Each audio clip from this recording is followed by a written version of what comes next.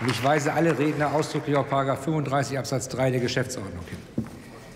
Sehr geehrter Herr Präsident, werte Kolleginnen und Kollegen! Wir haben uns ein ehrgeiziges Klimaziel gesetzt. Wir wollen die Treibhausgasemissionen bis zum Jahr 2020 um 40 Prozent gegenüber 1990 reduzieren. Und dafür müssen alle Sektoren einen Beitrag leisten, auch der Verkehrssektor. Das stellt hier keiner in Frage, meine Damen und Herren. Ja, der Klimaschutzbericht 2017 zeigt, dass wir keine Punktlandung im Jahr 2020 schaffen werden. Und deshalb müssen wir erst recht den im Klimaschutzplan aufgezeigten Weg konsequent weitergehen. Für den Status quo gibt es aber auch Gründe. Wir sind aus der CO2-neutralen Kernenergie ausgestiegen, und das ist auch gut so. Die Wirtschaft ist gewachsen, was an sich auch eine sehr gute Nachricht ist, und die Bevölkerung hat in den letzten Jahren zugenommen. Und all diese Faktoren müssen wir doch in einer fairen Betrachtung auch einmal zur Kenntnis nehmen, meine Damen und Herren. Die Bundesregierung hat 2014, als sie gemerkt hat, dass die Klimaschutzlücke droht, ein Aktionsprogramm Klimaschutz aufgelegt mit über 100 Einzelmaßnahmen.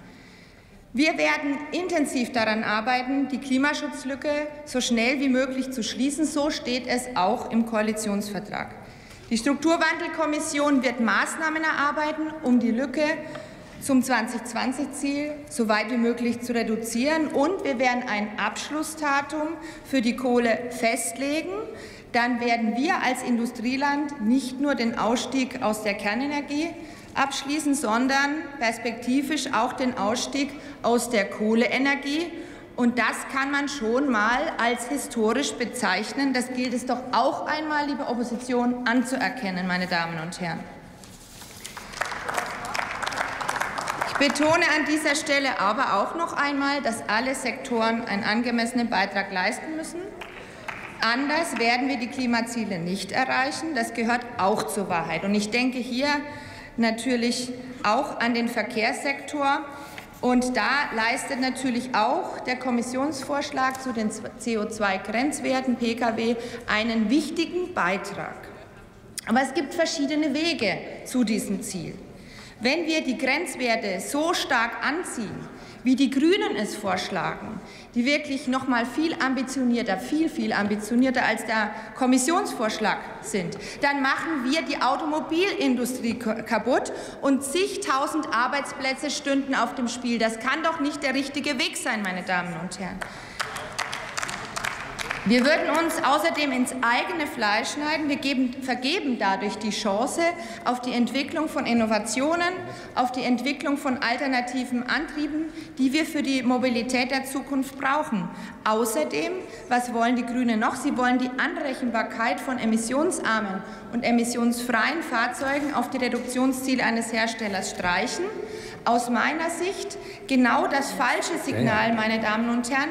Wir sollten die Entwicklung von Elektroautos, von Hybriden anreizen und sie nicht noch unattraktiver machen, indem man diese Systeme, diese Öko-Innovation und die Anrechnung dessen letztendlich streicht. sie schütten das Kind mit dem Bade aus mit diesem Vorschlag. Erlauben Sie eine Zwischenfrage der Kollegin Nestle. Ja, erlaube ich.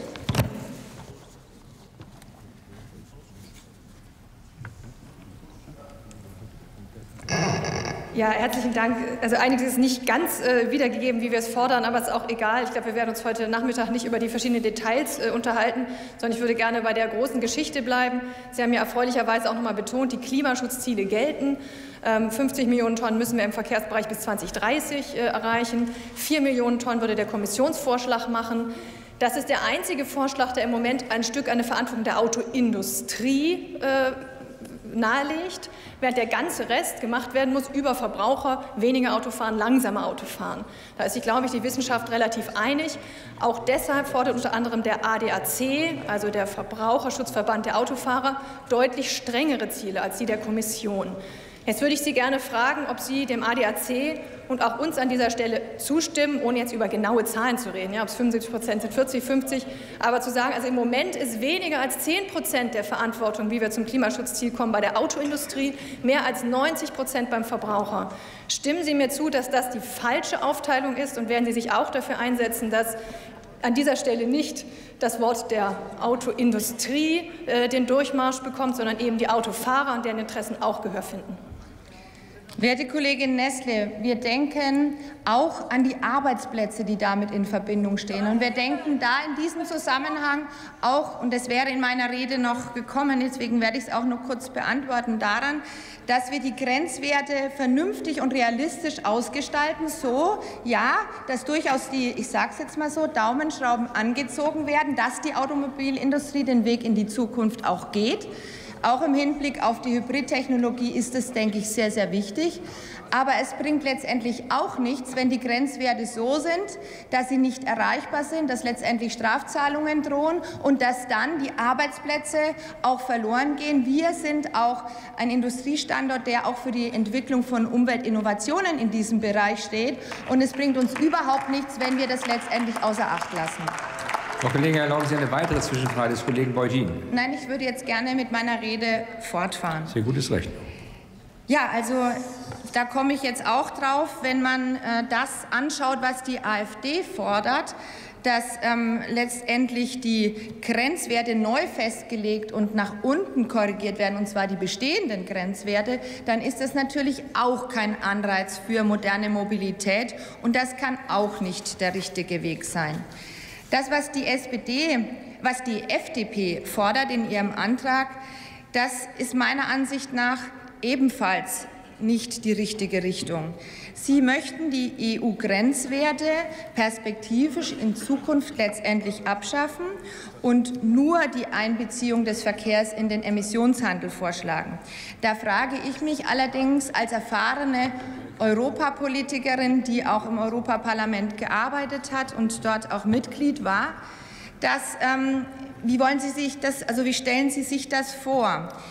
Ähm, wie soll das letztendlich auch durchsetzbar sein? Der Emissionshandel, ja, der deckt im Moment die Energiewirtschaft, die energieintensive Industrie ab. Für diesen Bereich ist der Emissionshandel ein wichtiges Leitinstrument, keine Frage, Kernstück auch unserer Klimaschutzpolitik.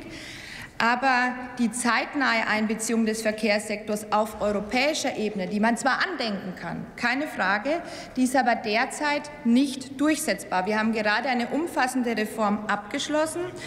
Die Reform des Emissionshandels war auch durchaus erfolgreich. Der Markt antizipiert das schon, indem sich der Preis auch weiterentwickelt und auch steigt. Aber ich war gerade jetzt auch in Straßburg, habe mit den Kollegen aus dem Europäischen Parlament gesprochen eine weitere Verschärfung oder Ausweitung, nachdem jetzt gerade die Reform abgeschlossen war, ist einfach nicht realistisch. Das muss man wirklich auch zur Kenntnis nehmen. Wir sprechen uns deshalb für ambitionierte aber realistische Grenzwerte aus. Wie gesagt, man muss die Daumenschrauben so weit anziehen, dass die Automobilindustrie den Weg in die Mobilität der Zukunft geht, auch konsequent geht. Wie gesagt, im Hinblick auf die Hybridtechnologien war das in der Vergangenheit nicht in der Form der Fall, muss ich auch als Klimapolitikerin deutlich sagen. Ähm, aber die Werte dürfen auch nicht unrealistisch sein und dann im Ergebnis nicht erreichbar. Das ist für uns genau der richtige Weg. Und ich bin zuversichtlich, dass sich die Bundesregierung in diese Richtung positionieren wird und sich auch in diese Richtung in die Verhandlungen in Brüssel einbringen wird. Aber ich sage auch, dafür ist es wichtig, dass sich die Bundesregierung bald positioniert. Das möchte ich an der Stelle auch sagen. Und äh, wir dürfen bei all dem eines nicht vergessen. Die Automobilindustrie ist ein Leitmarkt in Deutschland. Ohne jede Frage hat sich diese Industrie in der Vergangenheit einiges zu Schulden kommen lassen, das auch, damit ich das auch klar angesprochen habe. Aber wir haben auch eine Verantwortung. Wir haben diese Verantwortung gegenüber dem Klima, aber auch eine Verantwortung, wir haben auch eine Verantwortung gegenüber den vielen Beschäftigten in dieser Branche. Vielen Dank für die Aufmerksamkeit. Vielen Dank, Frau Kollegin Dr. Weisgerber. Als nächstes für die AfD-Fraktion der Kollege Dr. Dirk Spanier.